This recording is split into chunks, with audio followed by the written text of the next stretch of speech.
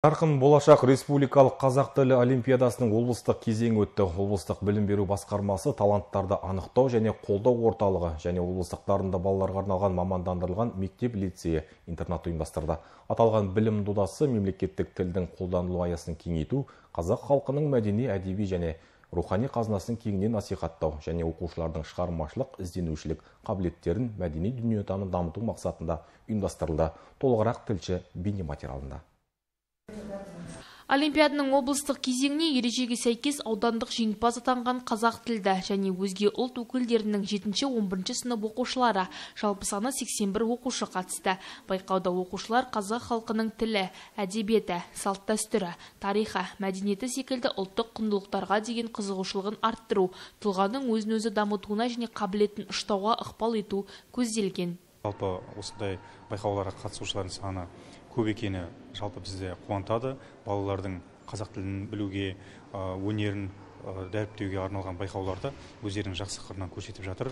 Сондықтан бұның барлығы біздің еліміздің патриоттық сезімін оятады деп есептейміз. Жарқын болашақ олимпиадасы ең беделді олимпиадалардың қатарында 2018 жылға дейін дәстүрлі өтіп келді.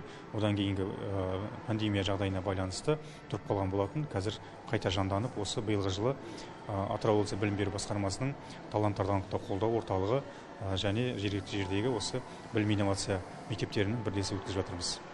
Жарқын болашақ олимпиадасы бес бағытты қамтиды. Олар бейнелеушілер, қазақ әдебиетіндегі шығармаларды комик жанрында салу, білгілер бәйгесі, мақал мәтел, жұмбақ, ертегілер бойынша сайыс, жас қаламгер жазбаша шығармашылық жұмыс, сөз шеберлері көпшілік алдында белгілі бір тақырыпта сөз сөйлеу және әнші бұлбұлдар ән айту байқауы мен жарқын болашақ олимпиадасына бірінші рет қатысып тұрмын. Бұл жерде мен сөз шеберлері атты номинациясына қатысқалы жатырмын.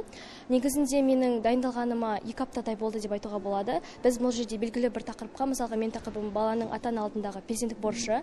Осы тақырып арқылы мен көрермендердің алдында сөйлемекпін. Негізі бұл олимпиаданың жақсы бір ә, артықшылықтарын айтатын айтатын болсам көрермен алдында сөйлеу мәдениеті мен қабілеттерін шыңдауға өте жақсы таптырмас мүмкіндік деп айта аламын. Және де барлық қатысушыларға сәттілік тілеймін.